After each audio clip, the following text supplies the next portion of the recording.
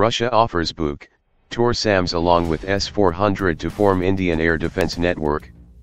While India and Russia are currently finalizing a deal on the S-400 Long-Range Air Defense Missile System, ADMS, Moscow is now understood to be getting New Delhi interested in its Buk M3 medium-range and Tor M3 short-range missile defense systems to form a single air defense network.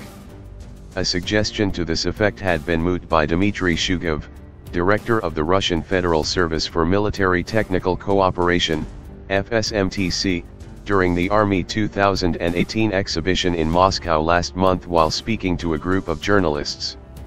You know that among our offers are Buk M2E system or Buk M3 Viking which has been presented at Army 2018 event. We also have the Tor systems. All of them can be easily integrated with S-400 providing for a united and very effective anti-missile defense loop.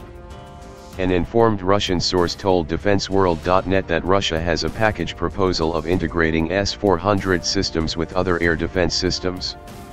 Russia can not only supply its customers buying S-400 long-range systems with, for example, Buk M2 or brand new Buk M3 medium-range systems and Tor M2 close-range systems, but also can integrate them into the single air defense network providing almost impenetrable defense perimeter.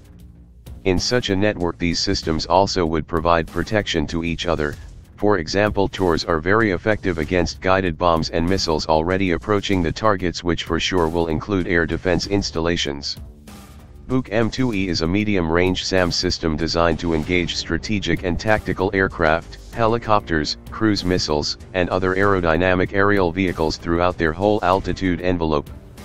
In comparison with the Buk M2E, the Buk M3 Viking's range of fire has increased nearly by 1.5 times, up to 65 kilometers.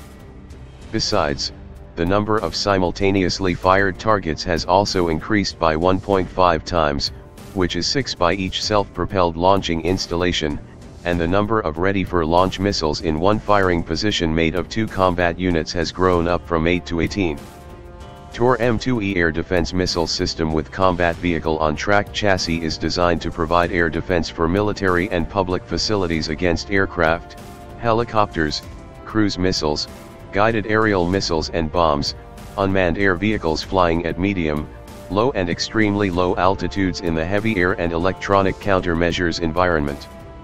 During the target engagement process, all the target detection and identification, lock-on, and missile control operations are done automatically with minimum operator participation. The TOR system was designed to intercept modern high-precision missiles and guided bombs which actually pose the most grave threat in today's conflicts and have been the decisive factors in many of them. The main task of TOR is to make a missile or a bomb to explode before reaching its target. India and Russia have concluded negotiations for the S-400 and Indian Defence Minister Nirmala Sitharaman said recently that the deal could be signed ahead of the Indo-Russian summit early next month.